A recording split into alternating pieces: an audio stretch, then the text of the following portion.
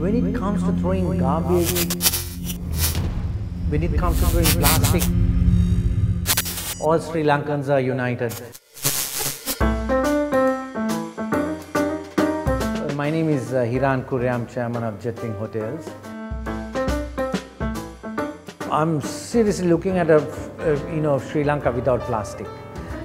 And one way of eliminating plastic is using more and more glass.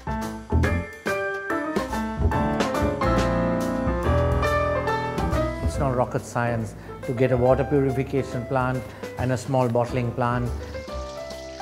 And thanks to Piramal actually, they produced a, a specific bottle for us.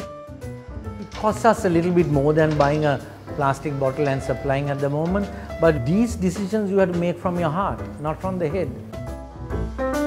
I'm a firm believer in glass. I'm so glad that uh, you know an organization like Piramal has uh, started a campaign to see that uh, you know this message is carried out all over the island. Say no to plastic. Find uh, a way forward with uh, buying more glass items. So simple things like that, every citizen can uh, play a role. And I hope and I pray that during my lifetime at least, we will see a Sri Lanka without plastic.